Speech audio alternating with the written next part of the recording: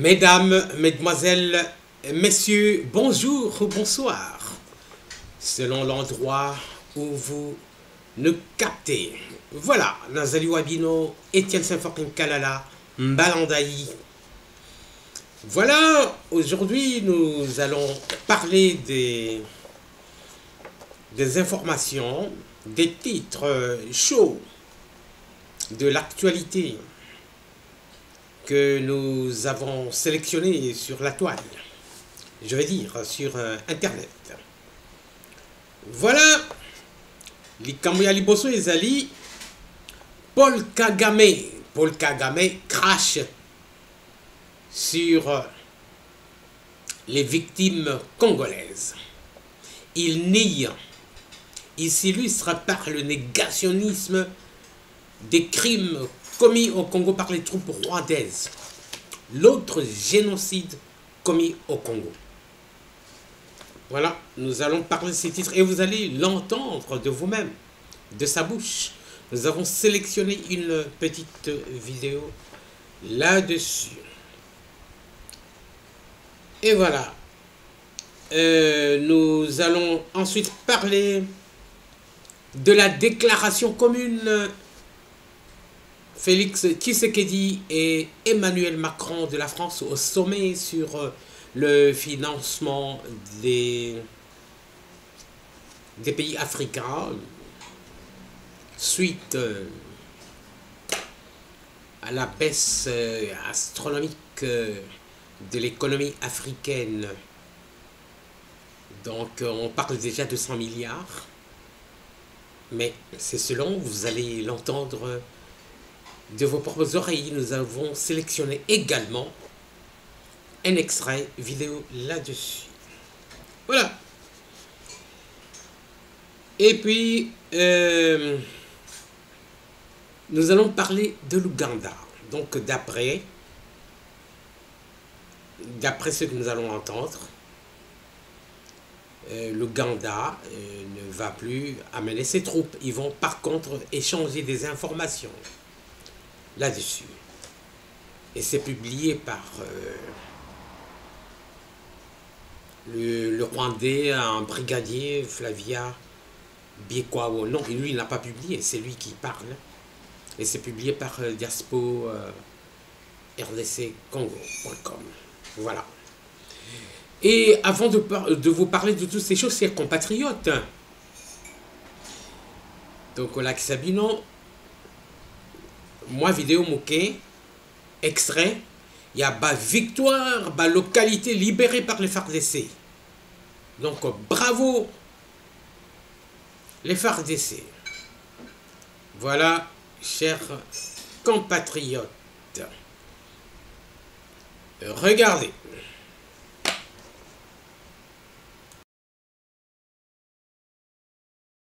Ils sont engagés, déterminés et motivés sur les lignes de front, les forces armées de la République démocratique du Congo, qui viennent de nettoyer la route Bunyamahagi qui débouche vers l'Ouganda voisin. Plusieurs barrières de perceptions illégales des taxes érigées par les miliciens Codeco au pont Nizi vers la localité Libye ont été détruites. Ici, des véhicules déboursés illégalement 5 000 à 50 000 francs congolais aux miliciens. Fini donc cette tracasserie, a dit le porte-parole des opérations militaires en Ituri.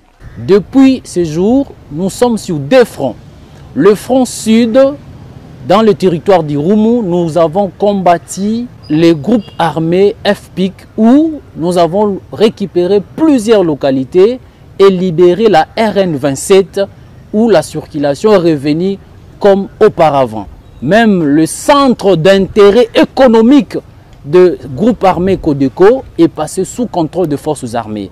Les véhicules passent librement, le trafic sur la RN 27 est sécurisé, rassure le lieutenant Jules Ngongo. C'est ce qui nous a amené aussi au front nord, dans le territoire de Djougou, où le vaillant militaire de forces armées vont de prouesse en prouesse où plusieurs localités également sont passées sous contrôle de forces armées qui étaient siégées par euh, ces renégats. Et d'ajouter, pendant cette période de l'état de siège, les FARDC ont récupéré plusieurs villages, dont Ala, Lobu, Sanduku, Gujo, Dera, Libi, Dina, des grandes agglomérations du territoire des Djougou, jadis occupées par des assaillants. Des opérations militaires de grandes envergures sont lancées en territoire des Djougou et Irumu. Les miliciens Kodeko et FPIC sont donc avertis.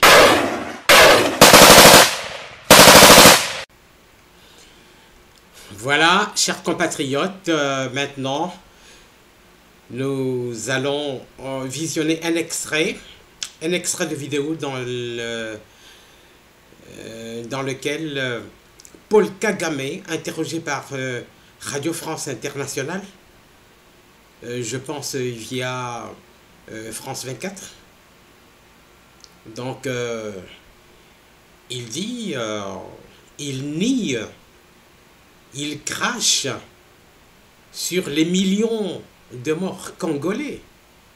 Il dit qu'il n'y a pas de troupes euh, rwandaises au Congo.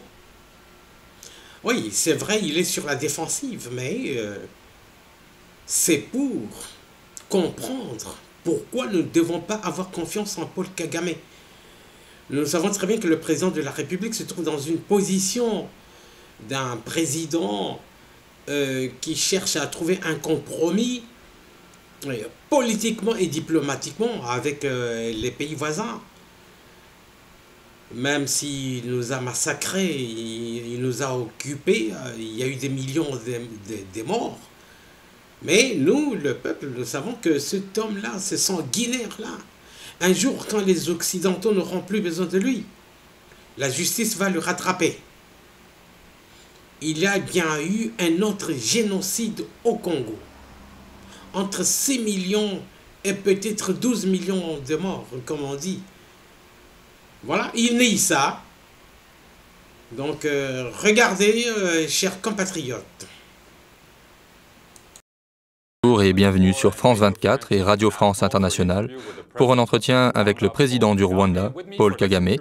À mes côtés d'aujourd'hui, Alexandra Branjon de RFI. Monsieur le Président, bonjour. Monsieur le Président, vous avez salué un récent rapport d'un historien français comme étant, je cite, un pas important. Le rapport commandé par le président français Emmanuel Macron conclut que la France porte, je cite, une responsabilité lourde et accablante dans le génocide des Tutsis de 1994. Le président français devrait se rendre au Rwanda dans quelques jours. Est-ce un tournant dans vos relations? Sommes-nous au bord d'une totale normalisation des relations entre la France et le Rwanda? Pour commencer, comme nous l'avons déjà dit, je pense que c'est un grand pas en avant que nous saluons côté Rwanda et je pense qu'il en va de même pour beaucoup en France.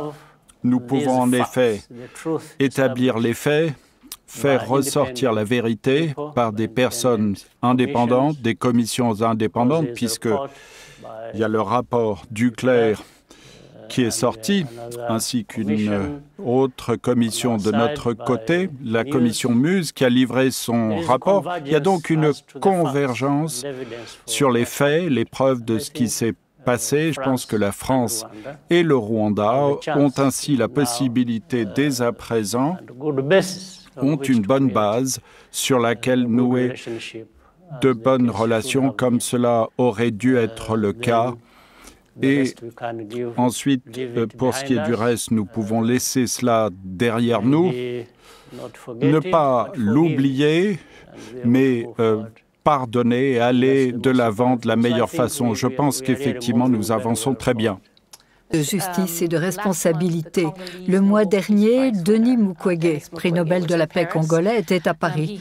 Il a demandé à la France d'aider à ce que justice soit faite contre les responsables des crimes commis à l'est de la RDC. Certains sont le fait de soldats de la région de pays voisins, selon des experts des Nations Unies. Seriez-vous d'accord pour que des officiers rwandais soient poursuivis pour des crimes commis en RDC suite au génocide? Comme vous le savez, peut-être le rapport du projet Mapping a été extrêmement controversé. Et en réalité, il est hautement contesté par les gens, que ce soit en RDC ou dans les pays voisins. Il a été très politisé. Mukwege devient un symbole, un outil de ces forces que l'on n'aperçoit pas et euh, il reçoit le prix Nobel et donc euh, on lui dit quoi dire et j'ajouterai qu'il y a d'autres rapports qui sont euh, sortis et qui contestent et qui disent tout à fait euh, l'inverse. Le contraire, qu'il n'y a pas eu de crime dans la région Mais il n'y a pas eu de crime. à l'est de la RDC Non, absolument pas que ce soit par les personnes soit évoquées ou les pays cités. C'est, si vous voulez, la théorie du double génocide qui est à l'œuvre ici. Dans l'Est de la RDC, la situation sécuritaire demeure très mauvaise. D'aucuns disent qu'elle continue à se détériorer. Le gouvernement congolais a décrété un état de siège dans deux zones, Ituri et Nord Kivu, pour 30 jours, peut-être plus. Est-ce une bonne mesure? La soutenez-vous? L'état d'urgence, à mes yeux, c'était un peu comme si on disait, il y a un énorme problème ici, prenons des mesures qui vont nous donner une bonne base pour traiter les choses. C'est pourquoi je dis c'est une chose que de mettre en place euh, l'état d'urgence. Pour ma part, je le ferai, mais je suivrai cela aussi par des actions bien réfléchies et planifiées pour euh, traiter les choses de façon concrète et de ne pas euh, repasser sur les choses et d'avoir les mêmes problèmes au bout de cinq ans ou un problème encore plus grand. Mais il y a aussi les forces des Nations Unies et les Nations Unies qui sont venues de l'extérieur et qui sont là maintenant depuis 24 ans. Mais il y a toujours ces responsabilités du monde qui sont passées sous silence. Et personne ne dit, mais qu'avez-vous fait là pendant 24 ans? Vous y êtes allé pour régler un problème, que s'est-il passé? C'est un échec Je pense que c'est un énorme échec. C'est peu dire. Alors, à propos d'en faire plus, les relations entre votre pays et la RDC semblent s'être améliorées depuis l'élection du président Tshisekedi. Vous êtes d'accord pour renforcer la sécurité à la frontière entre les deux pays pour lutter contre les rebelles. Où en êtes-vous de ces discussions? Envisagez-vous des opérations militaires conjointes? Eh bien, les discussions sont en cours, mais la chose la plus importante ici, c'est que au moins il y a cette euh, ambiance qui nous permet de dialoguer et qui faisait défaut auparavant. Et bien sûr, les gens qui travaillent ensemble trouvent une solution. Mais des opérations militaires conjointes sont envisageables. Oui, je pense que ce n'est pas à exclure.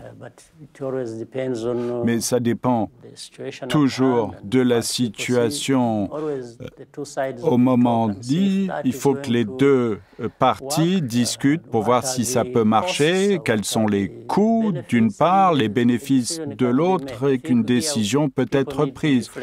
Il faut que les gens soient souples. Parce que selon des experts des Nations Unies, des militaires rwandais seraient déjà en train d'intervenir en RDC. Oui, mais moi je souhaite qu'ils aillent encore plus loin en se posant la question, les Nations Unies, donc, pourquoi le Rwanda devrait-il se rendre en RDC alors que ce sont eux les responsables de la situation. Cela signifie-t-il que vous reconnaissez qu'il y a des troupes rwandaises en RDC Non, non, je ne reconnais pas ça du tout. C'est peut-être euh, un échec. Leur échec en RDC, un échec total. Donc y a-t-il des troupes rwandaises en RDC en ce moment même? Non, si nous y étions, nous ne serions pas en échec. Ça, je puis vous assurer que l'on n'échouerait pas à régler le problème. Alors, pour en revenir aux affaires intérieures du Rwanda, Paul Roussé Sabagina, le héros du film Hôtel Rwanda, est en cours de jugement à Kigali. Voilà, chers compatriotes, concernant l'Ouganda, donc, d'après cette information que nous avons de diaspora-rdc.com, donc l'Ouganda ne va plus participer avec ses troupes. Donc selon le titre, état de siège, l'Ouganda décide de partager avec la RDC des renseignements sur les rebelles islamistes ADF. C'est vrai que dans les informations, dans les réactions des Congolais, euh, surtout sur les réseaux sociaux, les réactions étaient partagées. Bon, il y avait des réactions selon par exemple les partisans de l'UDPS, ce qu'on appelle la base, surtout les parlementaires debout, pour eux, bon, euh, dès que les troupes euh, euh, ougandaises sur le territoire congolais sont contrôlées, pour, eux, pour eux, ça passait, puisqu'il s'agit de la traque des ADF. Mais pour les autres Congolais, comme nous, moi par exemple, je n'étais pas pour. Mais cette information peut soulager certaines personnes là, parce que les FARDC, aujourd'hui, ils ont les moyens les moyens de chasser les rebelles sans même la participation des troupes ougandaises. Donc, a fortiori, bon, ils, se rendent en masse déjà, alors même que les troupes euh, euh, ougandaises ne se sont pas encore déployées sur le territoire euh, congolais, d'après la déclaration d'un certain brigadier ougandais qui, qui parle dans cet audio que nous allons écouter. Voilà. État de siège, l'Ouganda décide de partager avec la RDC des renseignements sur les rebelles islamistes ADF. Chers compatriotes, nous allons euh, écouter euh, une lectrice virtuelle. Je vous préviens que euh, ce n'est pas une personne. Alors cette lectrice virtuelle ne s'est pas distinguée entre la RDC et l'abréviation de la rez-de-chaussée. Donc, dès que vous entendez la rez-de-chaussée, donc RDC, donc il s'agit de la RDC, la République démocratique du Congo. Voilà, chers compatriotes, écoutons. État de siège, l'Ouganda décide de partager avec la rez-de-chaussée des renseignements sur les rebelles islamistes ADF. Le gouvernement ougandais a levé l'option de partager avec la République démocratique du Congo, rez-de-chaussée, des renseignements sur les terroristes ADF. L'Ouganda a déclaré le lundi 17 mai 2021 qu'il avait convenu avec la rez-de-chaussée voisine de partager des renseignements et de coordonner une nouvelle impulsion de Kinshasa pour combattre les rebelles islamistes accusés d'aggravation de la violence dans l'est du Congo. Juste partager. Cette grande annonce intervient au moment où l'Ouganda se prête à effectuer un déploiement majeur de ses troupes sur le sol congolais, en mettant en place un centre d'opération dans l'est de la rez-de-chaussée pour combattre les rebelles de forces démocratiques alliées, ADF. Ils viendront pas. Certainement, il y aura coordination, partage de renseignements, partage d'informations et toutes sortes d'activités de nature sécuritaire, a déclaré à Reuters le brigadier Flavia Biekwazo, porte-parole des forces de défense du peuple ougandais, UPDF le commandant de la brigade de montagne de l'UPDF, le major général Kayanja Muanga, avait rencontré ces derniers jours des responsables de la sécurité dans la ville de Beni, dans l'est du Congo, pour discuter de la coordination des opérations anti-ADF, a déclaré Biekwazo. Cependant, l'Ouganda n'avait pas l'intention de déployer des forces au Congo, a déclaré Biekwazo la violence dans l'est du Congo, qui, selon les Nations Unies, a causé la mort de 850 personnes l'année dernière, a poussé les deux pays à améliorer leurs relations historiquement L'Ouganda n'avait pas l'intention. Le président rwandais, Paul Kagame, à la suite d'une réunion lundi à Paris avec le président congolais, Félix Tshisekedi, a également affirmé sa collaboration avec le Congo dans la lutte contre les rebelles. Est-ce que l'Ouganda a changé? Nous serons également aux côtés de la rez-de-chaussée pour toutes les initiatives mises en place pour renforcer la sécurité dans l'est de son territoire, qui borde notre pays, a déclaré Kagame dans un communiqué publié lundi par la présidence congolaise. Le Rwanda s'intéresse à un autre groupe rebelle, les Forces démocratiques pour la libération du Rwanda, FDLR, une milice Hutu fondée par d'anciens officiers et miliciens qui ont fui au Congo après avoir participé au génocide rwandais de 1994. En mars, les États-Unis ont qualifié les ADF d'organisations terroristes étrangères en raison de liens présumés avec le groupe État islamique, EI, bien que les Nations unies aient minimisé la force et la nature de l'influence de l'EI au Congo. Le 3 mai, Kinshasa a introduit la loi martiale dans les provinces du Nord Kivu et de l'Ituri, dans l'est du Congo, dans l'espoir d'enrayer l'aggravation de l'effusion de sang. Politico via Diaspo RDC. Oui, ça suffira. Nous n'avons pas besoin des troupes. Hein. Euh, des troupes ougandaises. Donc juste quelques conseillers qui viendraient pour partager les informations. Voilà. Donc personnellement, nous, de TV du Peuple des Congo, nous ne sommes pas pour le déploiement de ces troupes ougandaises. Nous savons ce qui s'est passé euh, dans le temps à Kisangani. Euh, quand ils viennent euh, ici, c'est pour euh, s'aimer le désordre à la longue.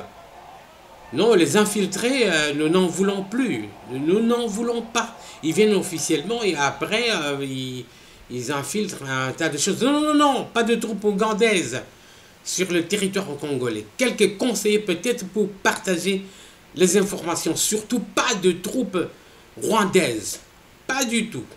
Voilà, chers compatriotes. Donc, euh, Boyoki, chers compatriotes, euh, bah, Ougandais, donc bah, comme il a français, euh, il n'avait pas l'intention de déployer des troupes. Donc, c'est comme si bah, Congolais bah, que bah, troupes pour Anabaya. Est-ce que Diaspo, RDC, Congo.com diaspo-rdc.com, est-ce que Mango Mutubasali a erreur? Ou bien, ba Ugandende, Bazali, Kolobandende wana Donc, euh, moi je pensais que quand il disait euh, les Ougandais n'avaient pas l'intention de déployer des troupes, c'est que les troupes ne viendront plus, mais apparemment, comme c'est conjugué à l'imparfait, bon, est-ce que les troupes viendront? Les troupes ne viendront pas, mais euh, nous ne sommes pas chauds. Je fais partie des Congolais qui ne sont pas chauds pour la présence des troupes ougandaises sur place. Peut-être des, des spécialistes d'échange et de renseignements militaire, euh, oui. Comme disent qu'ils vont échanger des renseignements. Dans ce domaine-là, oui. Voilà, maintenant, euh, nous passons euh, à la déclaration commune du président Félix Tshisekedi de l'Union africaine et du président Emmanuel Macron de la France qui héberge un sommet sur le financement des pays africains dont l'économie s'est effondrée euh, sérieusement à cause euh, de la Covid. Voilà, il paraît qu'il y a déjà 100 milliards, ce que j'ai entendu, mais bon, nous allons écouter ça ensemble, c'est une bonne chose le président Félix Tshisekedi apparaît là comme une star. Oui, c'est normal. Il est le président de l'Union africaine, il est parti représenter euh, de tous les pays africains. Voilà. Donc, euh, c'est les deux, les deux dirigeants, donc, euh, qui dirigent ce sommet-là. Ben, c'est un sommet France Union africaine. Voilà. Écoutons. Président dit Bien, merci. Ceci est une euh, opportunité, une grande opportunité pour l'Afrique. Nous remercions infiniment notre euh, cher frère et ami Emmanuel Macron pour euh, nous donner cette possibilité de venir voir dans quelle mesure on peut lever des fonds pour, euh, l'Afrique, sauver l'Afrique, qui a été frappée très durement par euh, cette pandémie qui a laissé nos économies exsangues, car nous avions dû consacrer tous les moyens que nous avions, les peu de moyens que nous avions, à combattre, à nous protéger contre la maladie. Aujourd'hui, il est question de voir dans quelle mesure nous pouvons relancer nos économies. Et il y a cette proposition des droits de tirage spéciaux que nous apprécions énormément, mais qui risquerait malheureusement d'être insuffisante. Donc nous allons voir dans quelle mesure nous pouvons augmenter, euh, obtenir l'augmentation de ces droits de tirage spéciaux pour l'Afrique. Euh, hier, euh, au dîner nous offert par Emmanuel Macron, nous avons visé le cap des 100 milliards. ce sera déjà ça, ce ne sera pas encore l'objectif poursuivi, mais c'est déjà ça. Ensuite, nous devrions voir aussi au niveau de l'Afrique comment nous pourrions, à notre niveau, au niveau des communautés économiques régionales, proposer une sorte de filet de protection financier qui, serait, euh, qui pourrait nous aider à pouvoir faire face euh, aux crises de ce genre, parce que vous avez vu, l'Europe a su très vite euh, renflouer les moyens pour relancer et protéger ses entreprises, relancer son économie, tandis que chez nous, ça a beaucoup balbutié parce que nous ne sommes pas préparés à ce genre d'imprévu. Donc nous verrons ensemble comment est-ce que nous pouvons revoir le paradigme, euh, aller dans le sens du New Deal proposé par euh, le président français pour permettre à l'Afrique de pouvoir faire face. Nous avons un grand besoin en infrastructure, par exemple. Comment est-ce que nous pourrions attirer les, moyens, les investissements dans ce domaine et pouvoir ainsi relancer l'Afrique? En tout cas, nous sommes très heureux de nous retrouver ici euh, parce que nous pensons que c'est une euh, qui nous est offerte de pouvoir faire parler euh, l'Afrique et de pouvoir proposer à nos amis européens, nos traditionnels partenaires, comment est-ce que nous pouvons ensemble expliquer au reste du monde comment revoir le paradigme, comment revoir le fonctionnement des choses. Merci beaucoup. Very important. We are gathered here to reverse what has developed as a very dangerous divergence between advanced economies and developing countries, especially Africa. We have to go back to the strong development Africa had before COVID. Écoutez, ce sommet euh, de Paris pour le financement des économies africaines, c'est euh, à nos yeux le sommet de l'urgence et de l'ambition. De l'urgence parce qu'il y a une urgence sanitaire. L'Afrique est l'un des continents le moins vaccinés au monde. Une urgence économique et sociale. Madame la directrice générale vient de le rappeler, le euh, président Tshisekedi aussi. Il y a aujourd'hui un ralentissement très fort de la, de la croissance partout en Afrique après une année 2020 extrêmement difficile. Et euh, il y a un besoin de financement entre aujourd'hui et 2025, 2025 qui est euh, estimé à environ 285 milliards de dollars. Et puis en même temps, c'est le sommet de l'ambition parce que l'Afrique a tout pour réussir. Elle a une jeunesse, une force productive et la capacité à relever les défis, ceux de l'urgence climatique et alimentaire en particulier. Si collectivement nous décidons en effet de proposer une nouvelle donne. Et c'est cette première pierre que nous souhaitons euh, porter lors de ce sommet de Paris. Tout ne sera pas réglé aujourd'hui, mais euh, c'est aujourd'hui un changement de paradigme que nous poussons, qui devra être poursuivi au G7, au G20, et que nous entendons poursuivre encore davantage sous la présidence française de l'Union européenne, dans ce partenariat constant avec nos frères africains. C'est d'abord de vacciner plus et encore davantage. Il y a un an, nous avons lancé l'initiative COVAX, objectif de vacciner 20% de la population. L'Union africaine a lancé l'initiative AVAT pour monter à 30%. Nous devons viser un objectif de 40% de la population vaccinée. C'est faisable. Et c'est faisable en 21. Si nous mobilisons les financements tels que proposés par le FMI, et si collectivement nous nous mettons en capacité de réallouer, de racheter plus de doses et de produire avec l'Afrique.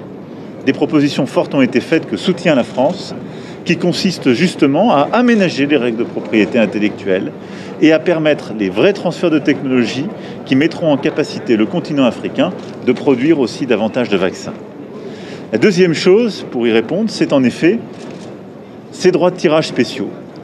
nous défendons l'idée que les pays les plus aisés puissent réallouer leurs droits de tirage pour qu'ils aillent vers les pays les plus pauvres, en particulier en Afrique, pour que les 33 milliards d'aujourd'hui deviennent 100 milliards, et surtout pour que nous puissions mieux les utiliser, c'est-à-dire les allouer à la Banque africaine de développement, innover en termes de financement et accompagner aussi cette ambition des financements que nous allons mobiliser grâce à la Banque mondiale, car c'est un mix évidemment de prêts, de financement euh, en subvention qu'il est important de, mobiliser. Plus largement, nous avons vu qu'il faut rénover les règles de gouvernance économique et financière pour le continent africain. Aujourd'hui, il y a la pandémie, il y a d'autres pandémies qui touchent l'Afrique depuis trop d'années, cette crise économique et sociale et l'épicentre du terrorisme international qui est en train de se déployer en Afrique. C'est pourquoi il est impérieux de pouvoir actualiser nos règles financières en prenant en compte cette charge de sécurité qui pèse sur beaucoup d'États africains, mais aussi en ayant une doctrine africaine de la bonne gouvernance. Et le rôle de l'Union africaine est ô combien important en la matière, consistant à utiliser cet argent vers la priorité, la sécurité quand il faut lutter contre le terrorisme, l'éducation, la santé, le développement durable, le développement des opportunités économiques.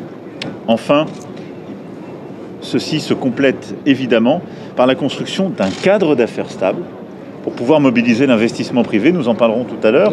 Nous allons lancer euh, une alliance inédite en la matière nous avons hier déjà commencé euh, ce travail et c'est le fruit euh, depuis plusieurs mois d'un effort important. Et l'idée est de mobiliser beaucoup plus les investisseurs et entrepreneurs du secteur privé, africains et non africains, pour pouvoir en quelque sorte fertiliser ces réformes et accompagner ces financements publics. Chacune de ces composantes fait partie d'une stratégie qui est cette nouvelle donne pour l'Afrique. Je crois que si nous arrivons dans les semaines et les mois qui viennent, à nous mobiliser sur cette base. Nous aurons les capacités non seulement de répondre à l'urgence que j'évoquais et d'éviter le pire, mais surtout de faire de cette situation une chance pour répondre à des problèmes que nous voyons depuis longtemps, mais que nous tardions à régler au fond et avec euh, des outils adaptés. Donc voilà ce dont nous allons encore travailler cet après-midi avant de vous rendre compte tout à l'heure. Merci beaucoup. Voilà, nous allons écouter rapidement la revue de la presse quinoise de ce mardi 18 mai 2021. Donc, euh, en plus euh, des titres que nous avons déjà développés. Donc, euh, nous allons écouter cela à travers notre lecteur ou notre lectrice virtuelle. Voilà, chers compatriotes. Et la personnalité centrale, c'est toujours Paul Kagame. On parle de lui, on parle de lui. On dirait que c'est devenu une, une star pour les Congolais. Mais voilà. Écoutons.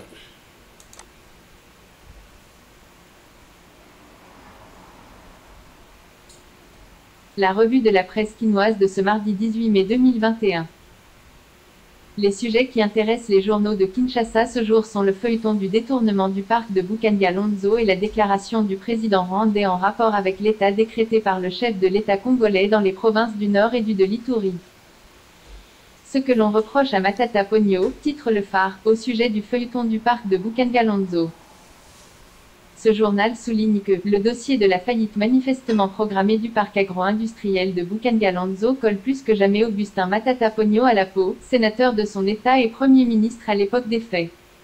Oui. Avec la saisine formelle du Sénat et de l'Assemblée nationale par le parquet général près la Cour de cassation, il ne fait l'ombre d'aucun doute que les poursuites judiciaires sont imminentes contre le précité et ses complices, croit le phare.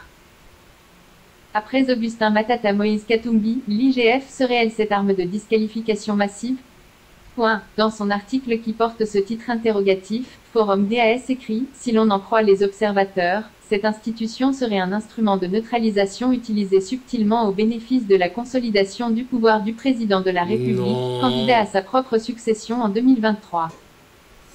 Pour ce journal, la nécessaire lutte contre l'impunité ne devait tourner ni à une espèce à la chasse aux sorcières, ni à un règlement des comptes politiques, ni devenir une arme de disqualification massive dans la perspective de la présidentielle de 2023. Or de plus en plus, poursuit notre confrère, d'indices semblent de nature à confirmer cette thèse su évoquée.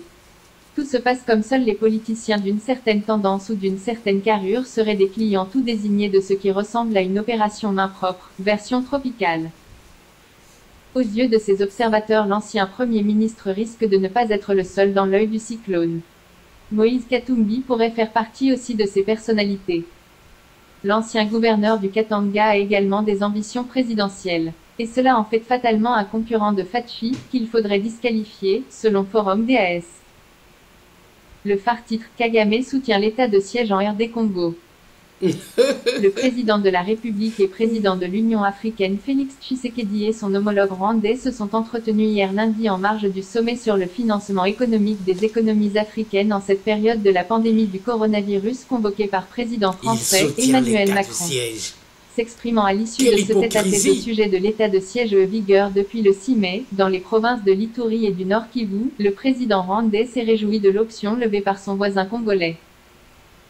Toujours à ce même sujet, dans son éditorial intitulé Kagame joue et gagne, Forum DAS relève suite au précédent retour sur le numéro 1 rwandais qui déclare soutenir l'état de siège au Nord Kivu et en Ituri. Le même pouvoir de Kigali qui avait proclamé par le passé soutenir des opérations contre les rebelles et autres groupes armés dans l'Est congolais. La suite, tout le monde la connaît. Et ce tabloïd a s'interrogé en ont faudrait-il alors dire Alléluia ou Amen à la suite des déclarations du président rwandais? Quel est le rapport de force que Kinshasa a créé pour transformer Paul Kagame du problème en solution au drame qui sévit dans la partie orientale de la rez-de-chaussée Bonit Salah, BTT-PKF. Voilà, chers compatriotes, pour nous, euh, Paul Kagame a soliloqué. Donc, il a parlé tout seul. Donc, c'était non-événement.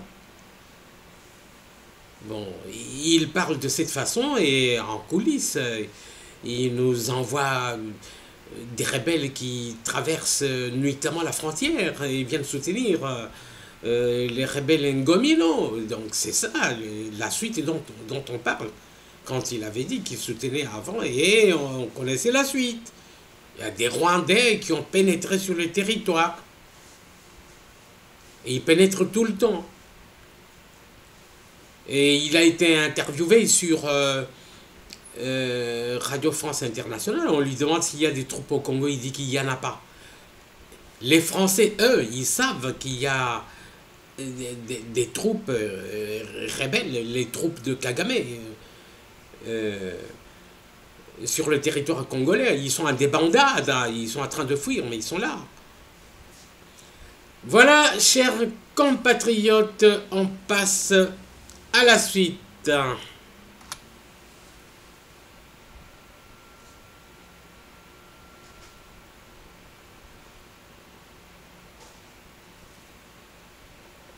c'est fini, non?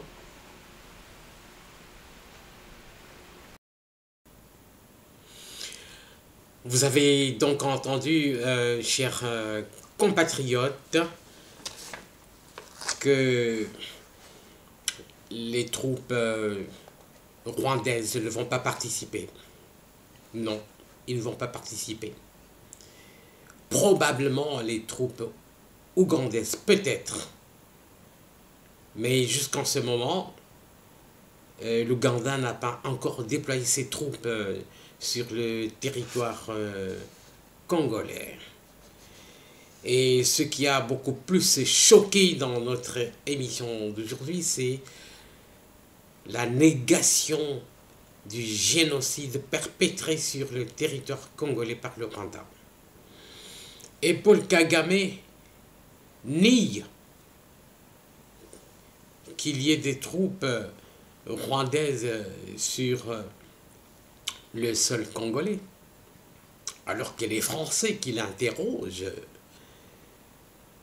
lui disent, lui rappelle qu'il y a des troupes rwandaises sur le territoire congolais. Pour preuve, on les arrête tous les jours. Hein. Donc, Bazokangabambororo tous les jours. Ouais. Et il y en a qui sont en fuite, les Ngomi, non. Ils sont là, c'est des Rwandais. Hein. On ne sait pas euh, où ils sont, mais ils sont en débandade. Hein, parce qu'à Minembo est déjà occupé par les FARDC. Hein. Voilà, chers compatriotes, nous nous arrêtons par ici pour aujourd'hui. Et nous remercions tous ceux qui vont regarder. Veuillez partager et vous abonner euh, si vous, vous aimez. Et nous disons, comme toujours, que Dieu bénisse la République démocratique du Congo. Voilà. Le peuple gagne toujours. Comme Rossi Mukendi nous l'a légué. Le peuple est en train de gagner avec les FARDC. Soutenons les FARDC. Ingeta.